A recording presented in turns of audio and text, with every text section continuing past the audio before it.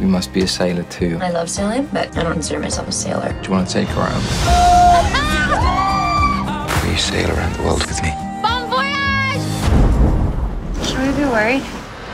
How is Tami going to inspire people, especially women? Well, I think that's it. She's she's just the best role model you could ask for. You know, and she she ticks every box of of a heroine, like someone who you genuinely aspire to be. It gives people the opportunity to say, if Tami could do it, so could I. It just comes from within, and you have to just try to get through every moment to to get out of whatever bad situation that you happen to be in. Knowing that someone else who is just as human as all of us are was able to overcome such a such a circumstance in a way I hope inspires specifically young women and young men to know that they can they can do anything. The spoiler alert is that I survived. Yes.